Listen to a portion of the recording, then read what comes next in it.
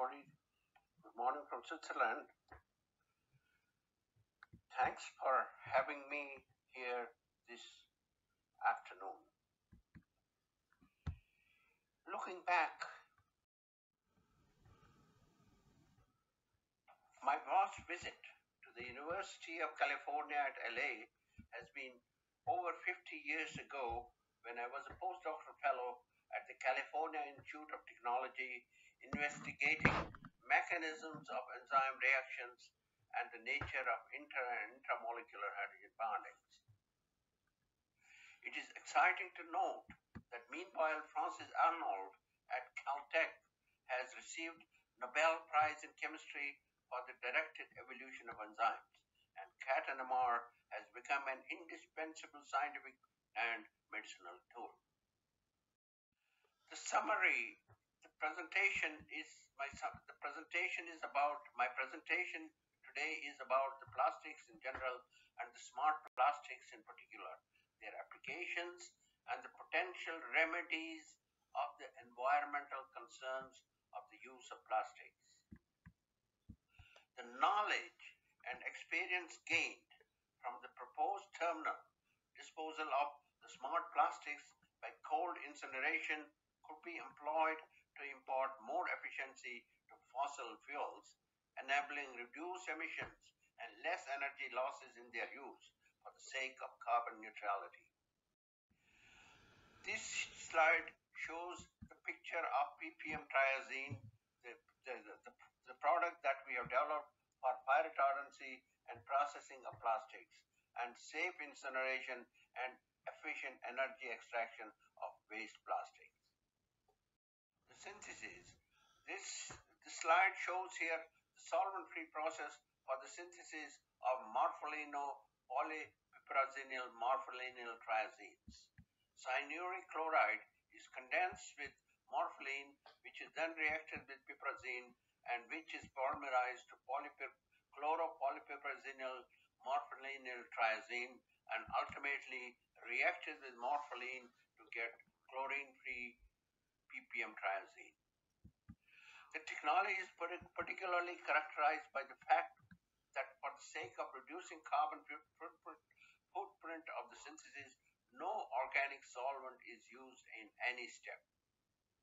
Composed of most common harmless elements, the only byproduct of the synthesis is the naturally occurring sodium chloride. Picture shows SEM picture of the particle size and shape of ppm triazines, which is important for the functionality of this product, consisting of hexagonal uh, shaped individual particles. Incineration and fire resistance of polypropylene composites without and with ppm triazine technology. Here the tests we are showing here the limiting oxygen test index test of flammability. Polypropylene itself burns at 17.2% oxygen content in the air and it continues burning if, if not uh, extinguished. Whereas the composites containing ppm triazine and uh, with, in combination with various uh, different fire retardants do, do, do not burn and form a fire barrier and stop burning um, um, after a short time.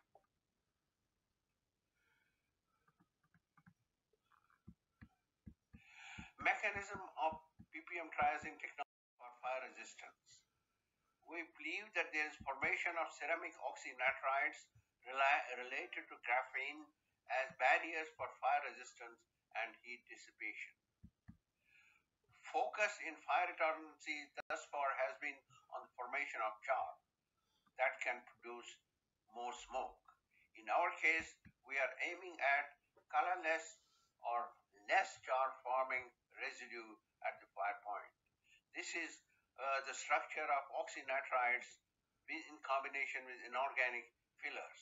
And this is the structure of oxynitride with phosphorus containing uh, fire retardants.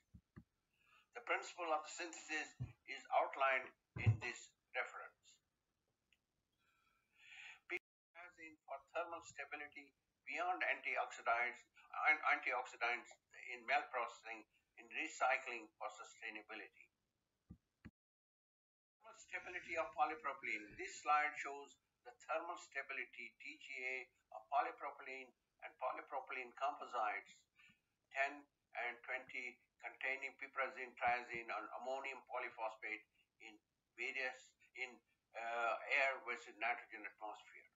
The picture here is the TGA of uh, these various composites showing a difference of 46 degrees Celsius. On the right hand side is the same uh, TGA of these samples uh, under nitrogen atmosphere showing hardly showing any difference between uh, between showing very little difference between uh, ppm triazine containing and not TGM containing uh, composites. The difference, however, is to it is to be noted that the th thermal stability here is much more than uh, in air.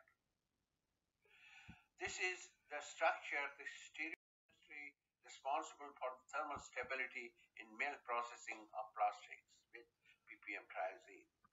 ppm triazine is exists, we believe, in the in the boat form, and when exposed to heat, it gets uh, exists in the chair form, and when exposed to heat, gets converted to boat form, uh, thus absorbing heat and heat energy. Pathway to plastic management, endothermic incineration, and efficient energy extraction. Plastics are basically high quality solid fuels. We should be fully utilizing their life cycle for the sake of sustainability. Thus, of all the alternatives available, the most logical procedure of their ultimate disposal is by incineration and energy extraction in closed systems. Incineration of any waste is particularly, particularly desired to prevent the occurrence and reoccurrence of infectious diseases. However, for safe, environmentally friendly, and efficient energy extraction, endothermic oxygen, uh, endothermic incineration uh, is required. These objectives can best be achieved by imparting suitable incineration resistance to most plastics, not only for their ultimate safe disposal, but also for their, for their safety while in use.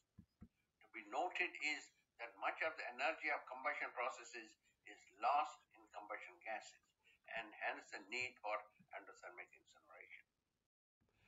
ppm triazine technology for fire resistance, fire uh, uh, uh, and energy extraction. Here we have the example of polypropylene with and without ppm triazine. The peak heat release rate of polypropylene itself when it burns produces uh, 800 kilowatts per square meter of heat, whereas the samples containing ppm triazine are uh, contain um, produce only 20% of the heat. The burning time is prolonged, almost double. That means the, the energy is better you utilize and most important the smoke there is very little very little smoke production meaning that carbon emissions are very low future outlook the knowledge and experience gained from endothermic incineration of plastic should be used in search of economical and cleaner combustion fuels less emissions and lower combustion temperatures to arrest global warming. To be borne in mind should be that much of the energy of combustion processes is lost in combustion gases and not fully utilized fuels. For fire safety of electrical engineering storage devices, much more efficient fire retardant resistance is required. Here, and even for space research, in situ ceramification technology of fire retardancy is perhaps a solution. The mechanisms proposed herein, should also be used for the creation and the theoretical studies of new smart materials. This work has been collaboration with various universities worldwide. By, however, the in opinions and interpretation of the results of entirely of the author himself. Thank you for listening.